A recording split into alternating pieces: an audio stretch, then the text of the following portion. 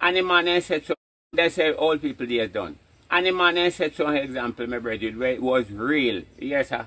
And then everything water down, come down to substitute. In those days, you know, say man then know wear brief. And the man then know wear underpants.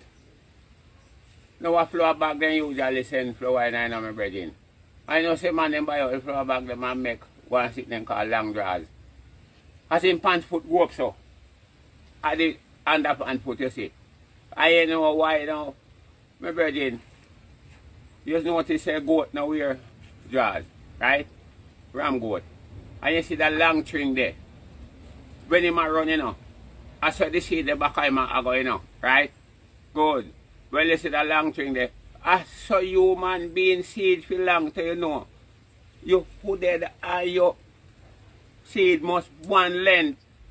And just shoot the man them go wear underpants and wear brief. It catch up the seed and make the seed shrink up. And that's why I make all old time man take enough man woman. Because the seed bag long.